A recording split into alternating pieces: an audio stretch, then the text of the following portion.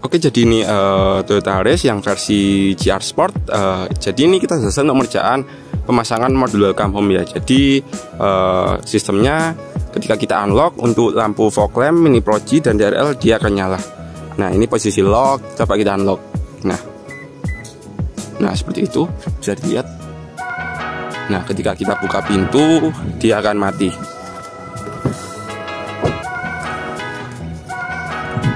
Nah ini coba kita lock lagi. Kemudian kita unlock untuk lihat welcome welcome home nya nah seperti itu. Jadi untuk pemasangan uh, modul welcome home seperti ini bisa hubungi admin kita. Thank you